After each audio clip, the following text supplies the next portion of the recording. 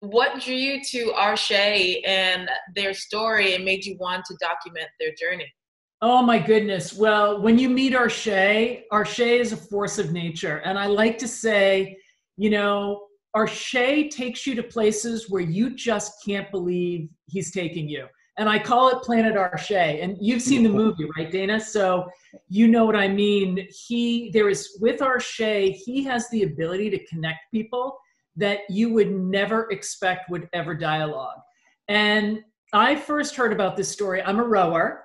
And so I heard about this team from the west side of Chicago and how somebody had written and self published a memoir about being captain of, t- of, a team from the west side. And I remember thinking, yeah, that, that didn't happen. No such thing, right? Fake news. Um, and I order Arshay's book, read it, and uh, take to cyberspace.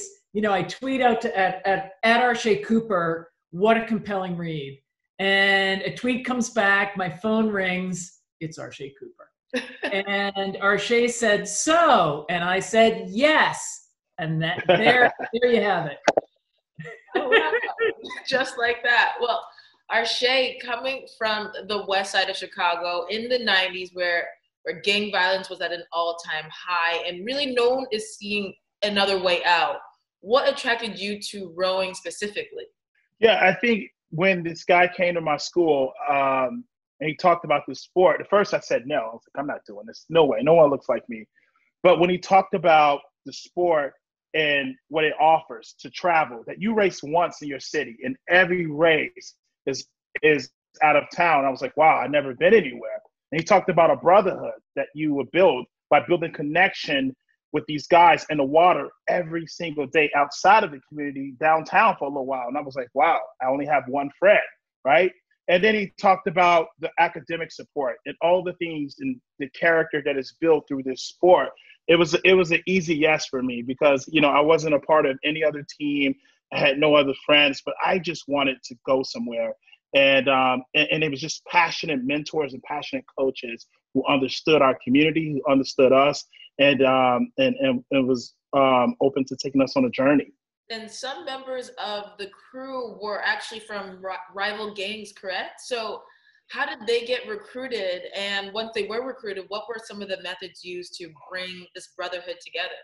Yeah, I think first, you know, if you talk to some of the guys, they was like, we just wanted pizza and travel, right? and that was enough to catch. Say, all right, uh, you know, I got to bring one of my guys, so no one jumps to me. I know there's different guys in the gang, but once we got to the boathouse, right? And we was pushed out in open water. There was a lot of fear there, right? A lot of fear. And then survival mode kicks in and it tells you to get back to the dock safely, we have to pull for each other. And when you learn to pull for each other, you have to listen. You have to listen to the cops and listen to the coach.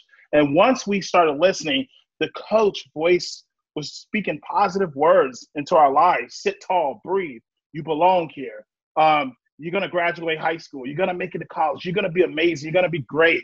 And and that was and, and then just the the healing power of the water, the rhythm, the movement, right? Um, the peace that the water brings.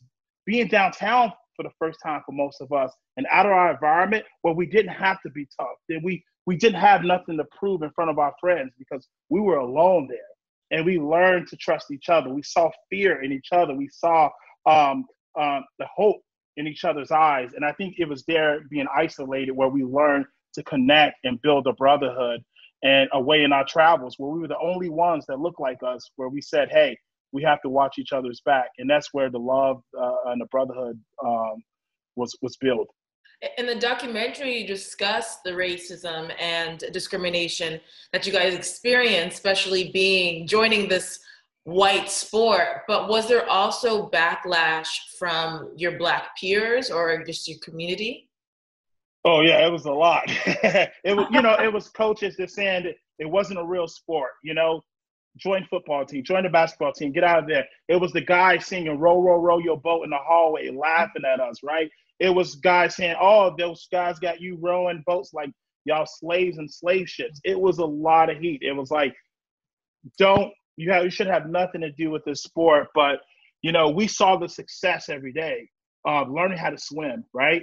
Um, traveling, um, the academic support, taking the entrepreneurship classes, right? Finally being downtown and exploring.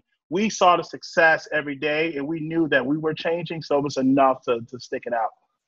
And now for the documentary, there is quite the A-list team contributing to this documentary, including Common, Grant Hill, Dwyane Wade, Ninth Wonder. So how did this dream team come together? I, you know, part of it was sometimes you're there when the bus comes, right? And uh, Grant Hill, in particular, he and I have known each other. He was actually in one of my earlier films uh, called Apple Pie, and so he and I have been friends for a long time.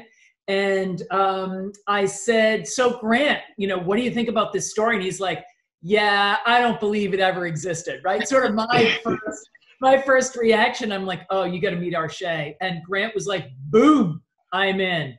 And then he brought Dwyane, right? And and things started to happen. And ninth was just what a you know common the sort of majesty the majesty of his voice and his craft that he lends to this project is just right grabs you by the throat and ninth wonder and sort of the the beauty of the hip hop score, right, and the sensitivity. Um, it's been so it was so exciting for Arshay and I to go be in studio with Ninth and see him in turn mentor these young hip hop artists. And it was just boy was that that was a magical set of days for us. And I think what resonated, I think, for all of our partners on this film was the fact that this was an unbelievably positive story, right?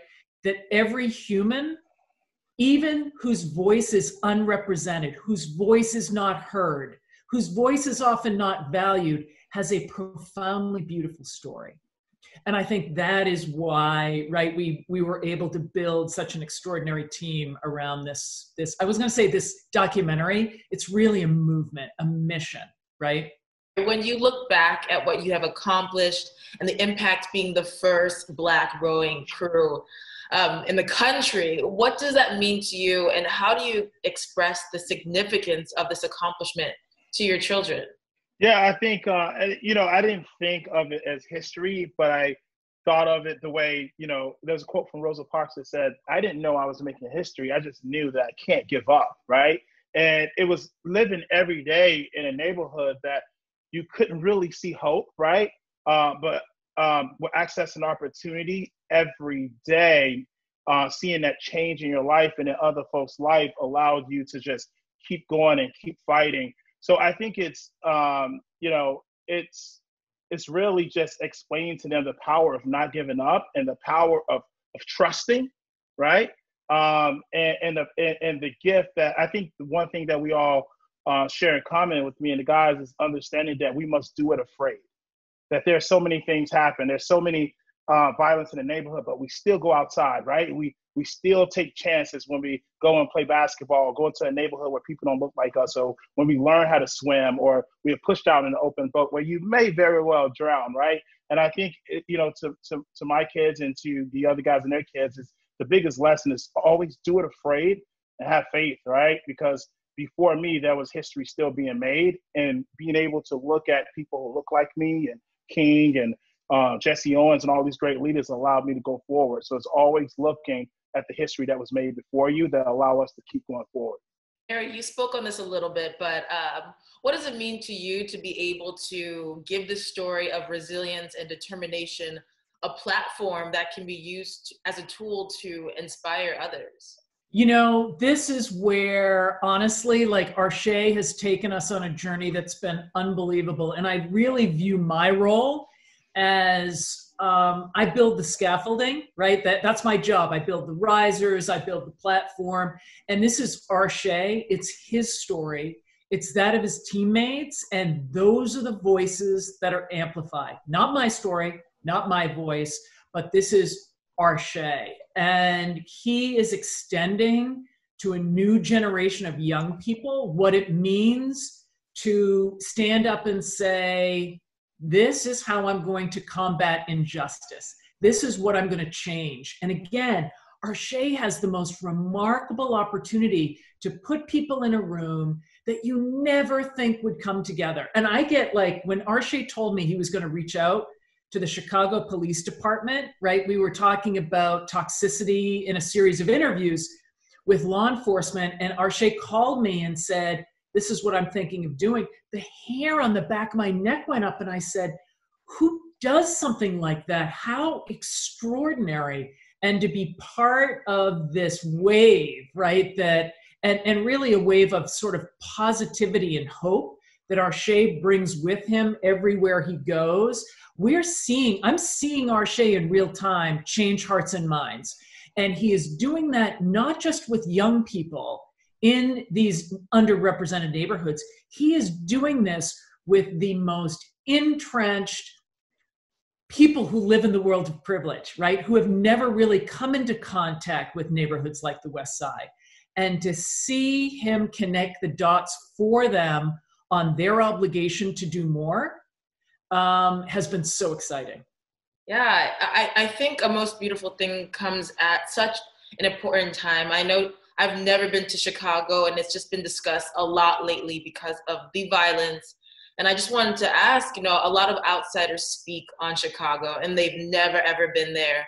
And they're trying to find a solution to the the poverty, the violence um, that's happening. So, Arshay, being a native, what do you feel is the most pressing matter? What what should be the focus? Is it education? Is it providing more sports and activities? What do you believe? Yeah, uh, it's education. It's starting with the uh, education, and I think it's acknowledging right that Chicago is the way it is because of the because of um, our people being enslaved, because of segregation, because of Jim Crow laws, because of our families moving uh, away from the South because it was so bad, right? and then being placed in, in, in, a community where they can't take out loans, right? They, they can't get a mortgage, they can't advance because of the color of their skin. So acknowledging that first and put reinvesting, as Mary would say, in these communities, right? People are privileged, uh, uh, reinvesting in these uh, communities. I think that is a start. I think it starts again with education, like you know, property tax pays for this the, the school system, right? And like Mary would say, that I think my taxes should not should go beyond 10 miles, right? And I think it, it's reinvesting in that way. And also, again, you saw in the film that when they tore down the YMCA, a lot of kids ran to the streets, right? 150 kids was out in the street game banging. Then Rowan came, Alvin and other guys turned to the sport because the opportunity was there. So I believe access and opportunity um, really changes lives. And if you will put a rowing team in every public school, there would have been more Arshay Alvin, Malcolms, and Prestons in the city of Chicago.